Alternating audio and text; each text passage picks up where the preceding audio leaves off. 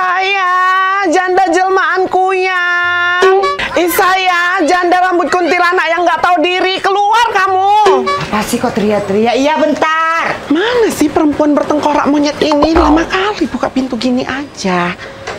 Apa sih bu? Heboh kali mulutnya.